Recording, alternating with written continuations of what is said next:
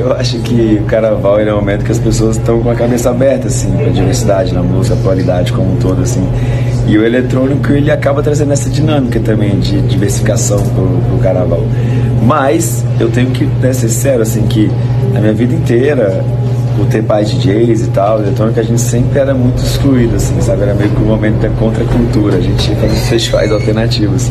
Mas hoje em dia, na posição que eu tô, eu acredito que o meu som é mais acessível do que antigamente. E eu faço várias leituras de músicas que estão bombando no momento e músicas clássicas do carnaval, exatamente para trazer essa conectividade com esse momento.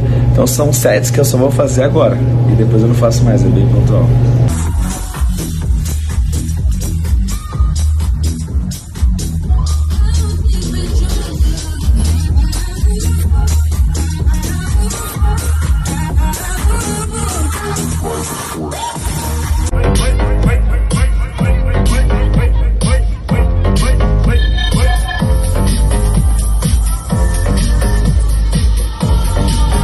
Qual que você acha que é a música do, desse carnaval? Ah, do Léo Santana, né? É, Zona de Perigo, sem dúvida. Mas, vou te falar que tem mais duas que pra mim tá funcionando muito, assim, que foi, acho que foi crescendo durante, assim. Que é a música da Anitta, acho que é, chama Ai Papai, né? É Anitta e quem? Tem mais MC Dani. MC Dani, muito legal essa aí, bombou, assim.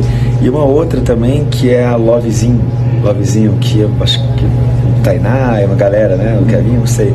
Mas tá bombando muito, assim, eu sei porque eu tava passando, ouvindo a música, eu já peguei, fiz um remix, peguei um remix uma galera e já toquei e deu super certo, então tá bombando, então são essas três.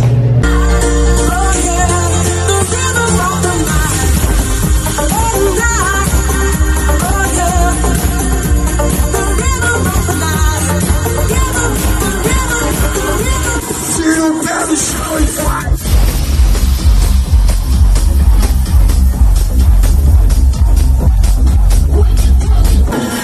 aqui em Belo Horizonte. Tem alguém feliz aí?